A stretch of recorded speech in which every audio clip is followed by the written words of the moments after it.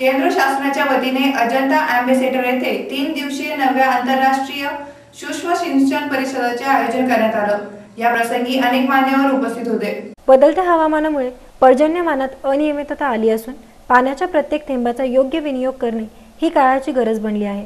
त्या पार्श्वभूमीवर शेत जमिनीची सुपीकता टिकवून ठेवत कमी पाण्यावर चांगल्या प्रतीच्या आणि अधिक उत्पादन देणाऱ्या पिकांसाठी सूक्ष्म सिंचन अनिवार्य आहे. शाश्वत शेतीचा हा उत्कृष्ट पर्याय असल्याचे प्रतिपादन मुख्यमंत्री देवेंद्र फडणवीस यांनी केले आहे. केंद्र शासनाच्या वतीने अजंता अँबॅसेडर येथे तीन दिवसीय नवव्या आंतरराष्ट्रीय सूक्ष्म सिंचन परिषदेचे आयोजन करण्यात आले आहे. या परिषदेच्या उद्घाटन प्रसंगी मुख्यमंत्री देवेंद्र फडणवीस बोलत होते. यावेळी व्यासपीठावर रस्ते वाहतूक जलसंधारण नदी विकास आणि गंगा संरक्षण खात्याचे केंद्रीय मंत्री नितीन गडकरी केंद्रीय कृषी मंत्री राधामोहन सिंग विधानसभा अध्यक्ष हरिभाऊ बागडे केंद्रीय राज्यमंत्री अर्जुन राम मेघवाल कर्नाटकचे कृषी मंत्री डी के शिवकुमार फिजीचे जलसंधारण मंत्री डॉक्टर महेंद्र रेड्डी केंद्रीय मानव संसाधन मंत्री doctor Satyapal Singh Satyendra Jain U K Singh जलसंपदा मंत्री गिरीश महाजन अनुप मिश्रा आर के गुप्ता यांच्यासह हिमाचल प्रदेश उत्तराखंड गोवा उत्तर प्रदेश हरियाणा राज्याचे कृषी मंत्री मान्यवर उपस्थित होते. मुख्यमंत्री म्हणाले की कृषी क्षेत्राचा कायापलट घडवून आणण्याची क्षमता ही सूक्ष्म सिंचनात आहे.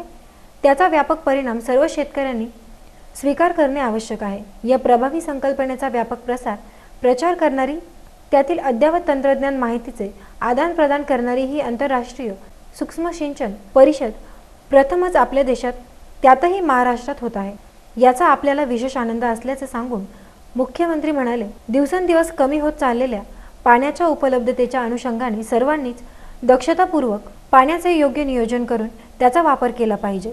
बदलत्या हवामानामुळे पावसाचे वेळापत्रक विस्कटले आहे. पावसाचे प्रमाण कमी झाले आहे. या अनियमितेत स्थिरतापूर्वक शेती करणे हे आव्हान आपल्या देशासह जगभरातील शेतकऱ्यांसमोर उभे ठाकले आहे. सर्वांसमोर आहे.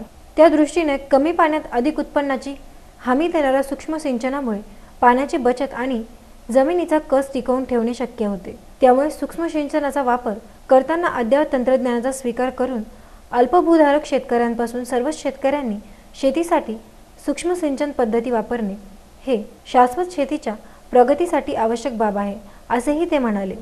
औरंगाबादवरून Siddheshwar Thor A I N news Aurangabad.